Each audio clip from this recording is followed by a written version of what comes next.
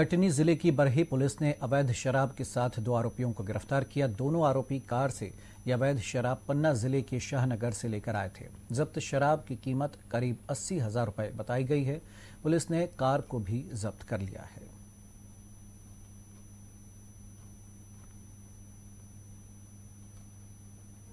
Exact मुखबिर सूचना मिली कि एक आई गाड़ी है सी एच तेरह।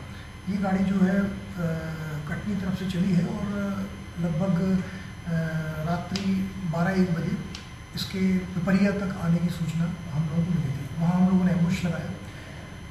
एम्बुश लगाने के दौरान ऐसा कोई वाक्य समझ में नहीं आया कोई गाड़ी क्रॉस हुई, लेकिन ऐसी फिर मुखबिर के द्वारा सूचना मिली कि दूसरे रास्ते से ये गाड़ी अंदर आ गई है। तो पूरी रात एम्बुश लगाने के बाद सुबह से हम लोगों ने लगातार सर्चिंग ऑपरेशन रखा।